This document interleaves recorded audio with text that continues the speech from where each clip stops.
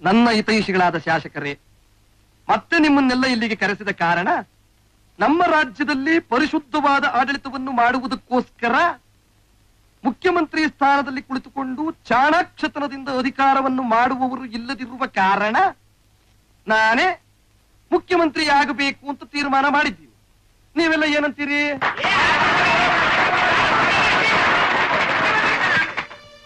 ರಾಮರಾಜ್ ಅವರೇ, ನನ್ನನ್ನು ಕೇಳಿದ್ರೆ ನೀವು ಮುಖ್ಯಮಂತ್ರಿ ಆಗೋದು ಬೇಕಾಗಿಲ್ಲ. ಜೊತೆಗೆ ತಾವು ನಮ್ಮ ಪಕ್ಷದ ಅಧ್ಯಕ್ಷ ಸ್ಥಾನಕ್ಕೆ ರಾಜೀನಾಮೆ ಕೊಟ್ರೆ ನಮಗೂ ಒಳ್ಳೇದು, ನಮ್ಮ ದೇಶಕ್ಕೂ ಒಳ್ಳೇದು. ಶ್ರೀ ಕೃಷ್ಣೇಗೌಡ್ರೆ, ನಿಮ್ಗೂ ತಾಕತ್ತಿಲ್ಲ, ತಾಕತ್ತಿರೋರಿಗೂ ಬಿಡೋದಿಲ್ಲ. ನಮ್ಮ ನಾಯಕರಿಗೆ ರಾಜೀನಾಮೆ ಕೊಡ್ರಿ ಅಂತ ಹೇಳೋ ಧೈರ್ಯ ಏನ್ರಿ ನಿಮ್ಗೆ? ಬೇಕಾದ್ರೆ ನೀವು ರಾಜೀನಾಮೆ ಕೊಡ್ರಿ. ನೀವು ಕೊಡದೆ ಹೋದ್ರು ಇರ್ಲಿ ಅಂತ ಬಿಳಿ ಪೇಪರ್ ಮೇಲೆ ಸಹಿ ಹಾಕೊಟ್ಟಿದ್ರಲ್ಲ ಅದ್ರ ಮೇಲೆ ರಾಜೀನಾಮೆ ಬರ್ದು ನೀವು ರಾಜೀನಾಮೆ ಕೊಟ್ಟಿದ್ದೀರಾ ಅಂತ ಹೇಳಿ ನಮ್ ನಾಯಕರು ನಾಳೆ ಅನೌನ್ಸ್ ಮಾಡ್ತಾರೆ. ಯಾಕ್ರಿ ಸುಮ್ನೆ ಮಾತಾಡ್ತೀರಾ? ಒತ್ ಹೊರಗಡೆ ಹಾಕ್ರಿ.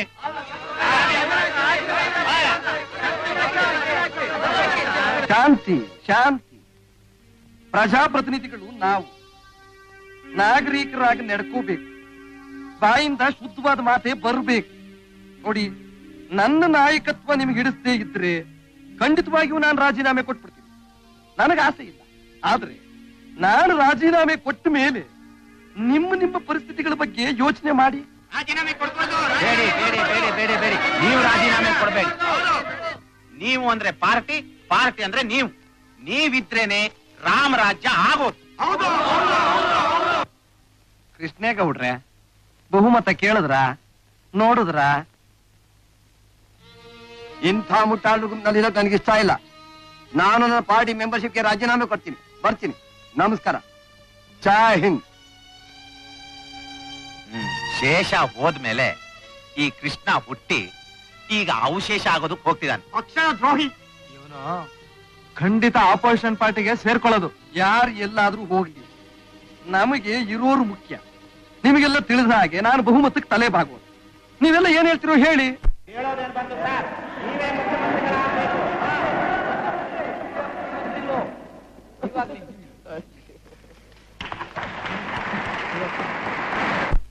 ವಾರ್ತೆಗಳ ಮುಖ್ಯಾಂಶಗಳು. ಮುಖ್ಯಮಂತ್ರಿಗಳಾಗಿದ್ದ ಶ್ರೀ ಸುಬ್ಬಣ್ಣನವರು ರಾಜೀನಾಮೆ ಕೊಟ್ಟಿದ್ದಾರೆ. ಆಡಳಿತ ಪಕ್ಷದವರು ಶ್ರೀ ರಾಮರಾಜು ಅವರನ್ನು ತಮ್ಮ ಪಕ್ಷದ ನಾಯಕರನ್ನಾಗಿ ಅವಿರೋಧವಾಗಿ ಆಯ್ಕೆ ಮಾಡಿದ್ದಾರೆ. ಶ್ರೀಯುತರು ಶುಕ್ರವಾರ ಪ್ರಮಾಣ ವಚನ ಸ್ವೀಕರಿಸುತ್ತಾರೆ. ಮುಂದಿನ ವಾರ ಹೊಸ ಮಂತ್ರಿಮಂಡಲದ ಸದಸ್ಯರ ಪಟ್ಟಿಯನ್ನು ಪ್ರಕಟಿಸುವುದಾಗಿ ಶ್ರೀ ರಾಮರಾಜು ಅವರು ಹೇಳಿಕೆ ಕೊಟ್ಟಿದ್ದಾರೆ. ನಾನ್ಸೆನ್ಸ್. ನಮ್ಮ ದೇಶ ಪುಂಡ್ರು ಪೋಖ್ರಿಗಳ ಸಾಮ್ರಾಜ್ಯ ಆಗೋಯ್ತು. ಭರತ್ ಇನ್ಮೇಲೆ ಹೆಣ್ಮಕ್ಳು ಒಂಟಿಯಾಗಿ ಓಡಾಡಕ್ ಆಗಲ್ಲ yes you are right Asha no sir ಈ ರಾಮರಾಜು ಮುಖ್ಯಮಂತ್ರಿ ಆಗೋದಕ್ಕೆ ನಾನು ಬಿಡೋದಿಲ್ಲ. ಅವನ್ನ ಮೀಟ್ ಮಾಡೋದಕ್ಕೆ ಇದೇ ಸರಿಯಾದ ಟೈಮ್ ಸರ್ ನಿಮ್ಮ ನೋಡ್ಬೇಕು ಅಂತ ಒಬ್ಬ ಯುವಕ ಬಂದಿದ್ದಾನೆ. ನೋಡೋದಕ್ಕೆ ತುಂಬಾ ರಫಾಗಿದ್ದಾನೆ ಹಾ ಸಾಹೇಬ್ರೆ ಆಪೋಸಿಟ್ ಪಾರ್ಟಿಯವರು ಗುಂಡಾಗಳನ್ನು ಕಳಿಸಿರ್ಬೇಕು. ಚೇ ಚೇ ಚೇ ಚೇ ಚೇ, ಅವಸರ ಮಾಡಿ ರಾಜಕೀಯದಲ್ಲಿ ಆ ಆತರ ಎಲ್ಲ ನಿರ್ಧಾರ ತಗೋಬಾರ್ದು. ಮುಖ ಮಾರ್ನ ನೋಡೋಣ ನೋಡು ಅವನ್ನ ಕಳಿಸು. ಸರಿ ಸರ್ ಆ, ಆಮೇಲೆ ನೀನು ಜೊತೆಲೇ ಬಾ.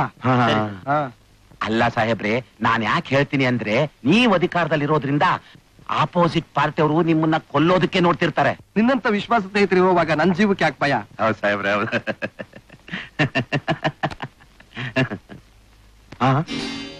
ಯಾರ್ ನೀನು? ಭರತ್. ಯಾರ್ ಕಳ್ಸಿದ್ದು? ನನ್ನನ್ನು ಕಳಿಸಿದ್ದು ಡಾಕ್ಟರ್ ಮಹೇಶ್ವರಿ ನಿಮ್ಮ ಪಾರ್ಟಿ ಜನರಲ್ ಸೆಕ್ರೆಟರಿ ಶೇಷು. ಮುಂದಿನ ಮುಖ್ಯಮಂತ್ರಿಗಳ ಭವಿಷ್ಯದ ಬಗ್ಗೆ ಮಾತಾಡ್ಕೊಂಡು ಬಾ ಅಂತ. ಓ ನೀನು? ನೀನು ಕೊರಗಾರ. ಸಾಕಮ್ಮಿಂದ ಯಾರು ಬಿಡಿಸಿದ್ರು? ಈಗ ತಾನೇ ಹೇಳಿದ್ನಲ್ಲ ಡಾಕ್ಟರ್ ಮಹೇಶ್ವರಿ ಸೆಕ್ರೆಟರಿ ಶೇಷು. ನಿನಗೇನು ಹುಚ್ಚಿ ಚಿಡಿತಾನೆಯಾ ಡಾಕ್ಟರ್ ಮಹೇಶ್ವರಿ ಸತ್ತು ಎಷ್ಟು ದಿವಸ ಆಯ್ತು? ಬಹಳ ದಿವಸ ಆಯ್ತು. ಆದ್ರೆ ಅವ್ರು ಹ್ಯಾಕ್ ಸತ್ರು ಅಂತ ನಿಮಗ್ ಗೊತ್ತು. ಸೆಕ್ರೆಟರಿ ಶೇಷು ಹ್ಯಾಕ್ ಸತ್ತ ಅಂತಾನೂ ನಿಮಗ್ ಗೊತ್ತು. ಅದಕ್ಕೆಲ್ಲ ಸಾಕ್ಷಿ ನನ್ನ ಹತ್ರ ಇದೆ. ಪ್ರೈವೇಟ್ ಆಗಿ ಮಾತಾಡೋದಕ್ಕೆ ಕ್ಷೇಮ. ಏಯ್ ಇವ್ನ ಅರೆಸ್ಟ್ ಮಾಡಿ ಯಾರ್ಕೊಂಡು ಬನ್ನಿ. ಬಿಡು ಅವನ್ನ. ನಿನ್ನ ಒಳಗಡೆ ಹೋಗು. ಯೋಗಪ್ಪ ಈ ತರ ಎಲ್ಲ ಮಾತಾಡಬಾರ್ದು. ರಾಜಕೀಯ ಗೊತ್ತಾಗಲ್ಲ ಸ್ವಲ್ಪ ಸುಮ್ಮನೆ ಇರು. ಏನಿದ್ ನಿನ್ ನಾಟಕ? ನಾಟಕ ನಿಮ್ದು. ಅದ್ರಲ್ಲಿ ನಂದೊಂದು ಸಣ್ಣ ಪಾತ್ರ.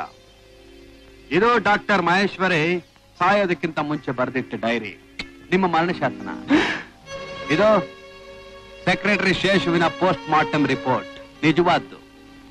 ಇದು photostat copy, original copy ಬೇರೆ ಕಡೆ ಇಟ್ಟಿದ್ದೀನಿ. ಇದನ್ನ ನಾಳೆ ಅಪೋಸಿಷನ್ ಲೀಡರ್ಗೂ ಪ್ರೆಸ್ಗೂ ಕಳಿಸಿದ್ರೆ ನಿಮ್ಮ ಗತಿ ಏನಾಗುತ್ತೆ ಅಂತ ಯೋಚನೆ ಮಾಡಿ. ರಸ್ತೆಯಲ್ಲಿ ಜನ ಹುಚ್ಚು ನಾಯಿ ಗಟ್ಟಿಸ್ಕೊಂಡು ಬಂದಂಗೆ ಬರ್ತಾರೆ. ಇದೆಲ್ಲ ಪಾಸ್. ಹೋಗ ತಾರೀಖಿದೆ ಸೀಲ್ ಇದೆ ಸಿಗ್ನೇಚರ್ ಇದೆ. ಭರತ್ ಈಗ ನಿನಗೆ ಏನಾಗ್ಬೇಕು ಹೇಳು?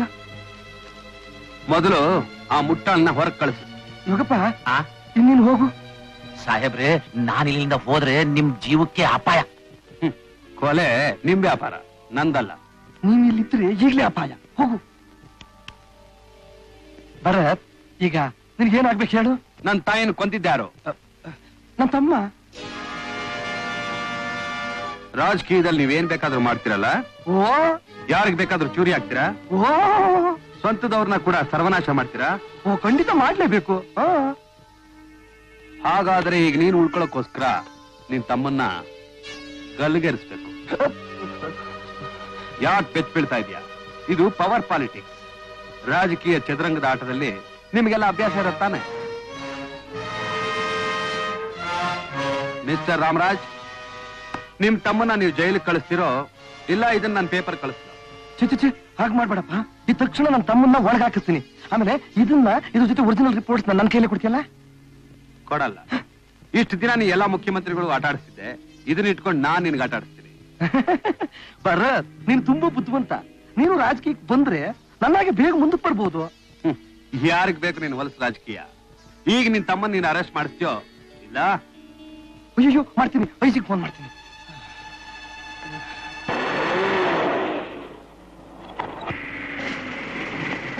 ಓಹೋ ಬನ್ನಿ ಕಮಿಷನರ್ ಸಾಹೇಬ್ರೆ ಬನ್ನಿ ಬನ್ನಿ. ನೀವು ಹೋಗ್ರ ಕೂತ್ಕೊಳ್ಳಿ. ಹಾಕಿ ಒಂದ್ ರೌಂಡ್ ಮಿಸ್ಟರ್ ಭೀಮರಾಜ್ ನಿಮ್ಮನ್ನ ಅರೆಸ್ಟ್ ಮಾಡಕ್ ಬಂದಿದ್ದೀವಿ. ನನ್ನ? ಹೌದು. ಏನು ಬೆಳಗಿನ ಗುಂಡ್ ಹಾಕ್ಬಿಟ್ಟಿದಿರೋ ಇಲ್ಲ ತಲೆಗಿಲ್ಲ ಕೆಟ್ಟಿದ್ಯಾ? ನಾನು ಯಾರು ಅಂತ ತಿಳ್ಕೊಂಡಿದ್ದೀರಾ? ನಾಳೆ ಸಿಎಂ ಆಗೋ ರಾಮರಾಜು ತಮ್ಮ ಭೀಮರಾಜು. ಸಿಎಂ ಆಗೋರೆ ಹೇಳಿದ್ದಾರೆ ನಿಮ್ಮನ್ನ ಅರೆಸ್ಟ್ ಮಾಡಿ ಅಂತ. ನಮ್ಮ ಅಣ್ಣನೇ ನನ್ನ ಅರೆಸ್ಟ್ ಮಾಡಕ್ ಹೇಳಿದಾನ? ಹೌದು ನಿಮ್ಮ ಸ್ವಂತ ಅಣ್ಣನೇ. ಯಾಕೆ? ಡಾಕ್ಟರ್ ಮಹೇಶ್ವರಿ ಕೊಲೆ ಕೇಸ್ಗಾಗಿ. ಕಮಿಷನರ್ ನಾನ್ ನಮ್ಮ ಅಣ್ಣ ಹತ್ರ ಮಾತಾಡ್ಬೇಕು. ನಾವ್ officer take him to custody ನಮ್ಮ ಅಣ್ಣ ಹತ್ರ ಹೋಗ್ತೇನೆ ಅಲ್ಲಿಗೆ ಬನ್ನಿ. ಭೀಮರಾಜ್ ಕಾನ್ಸ್ಟೇಬಲ್ಸ್ ಟೇಕ್ ಯು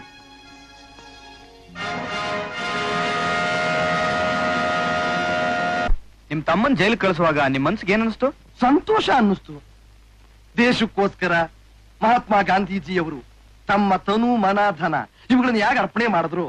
ಹಾಗೆ ನಾನು ಅರ್ಪಣೆ ಮಾಡಬೇಕು ಅಂತ ಕನಸು ಕಾಣ್ತಾ ಇದ್ದೀನಿ. ನಿಮ್ಮ ತಮ್ಮ ಅವರಿಗೆ ಒಂದ್ ವೇಳೆ ಪಾಸಿ ಶಿಕ್ಷೆ ಆದ್ರೆ?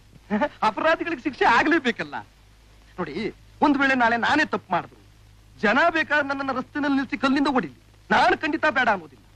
ಈಗ ನಾನೇ ಮುಖ್ಯಮಂತ್ರಿ ಆಗೋದಕ್ಕೆ ಯಾಕಪ್ಪ ಒಪ್ಕೊಂಡೆ ಅಂತಂದ್ರೆ ಶುದ್ಧವಾದ ರಾಜಕೀಯವನ್ನ ಮಾಡೋದಕ್ಕೋಸ್ಕರ. ರಾಮರಾಜ ಪ್ರತಿಷ್ಠೆ ಮಾಡೋದಕ್ಕೋಸ್ಕರ. ಜೈಲ್ನಲ್ಲಿರೋ ನಿಮ್ ತಮ್ಮವ್ರನ್ನ ಮೀಟ್ ಮಾಡಿದ್ರಾ? ಇಲ್ಲ. ಯಾಕೆ ಸರ್ ಯಾಕೆ ಅಂತಂದ್ರೆ ನನಗೆ ಪುರುಸೊತ್ತಿಲ್ಲ. ಪ್ರಜಾ ಚಿಂತನೆಯ ಬಗ್ಗೆ ಯೋಚನೆ ಮಾಡೋದಕ್ಕೆ ನನಗೆ ಹೊತ್ತಿಲ್ಲ. ನನಗೆ ಟೈಮ್ ಆಯ್ತು ನಾನಿನ್ ಬರ್ತೀನಿ. ರೇ ಇನ್ಸ್ಪೆಕ್ಟ್ರೆ ರೇ ಇನ್ಸ್ಪೆಕ್ಟ್ರೆ ಯಾಕೆ ಆತರ ಕೂಕೋತಾ ಇದೀಯಾ ಕೂಕೋತಾ ಇದೀಯಾ ಏನ್ ಬೇಕು? ಕಾಫಿ ಕೇಳದ್ನಲ್ಲ ಎಲ್ಲಿ? ಪದೇ ಪದೇ ಕಾಫಿ ತಂದ್ಕೊಡಕ್ಕೆ ಇದು ಹೋಟ್ಲ್ ಅಲ್ಲ ನಾನು ಯಾರು ಅಂತ ತಿಳ್ಕೊಂಡಿದ್ಯಾ ಯು ಆರ್ ಎ ಪ್ರಿಸ್ನರ್ ನಾವು ಗುಡ್ ಮಾರ್ನಿಂಗ್ ಇನ್ಸ್ಪೆಕ್ಟರ್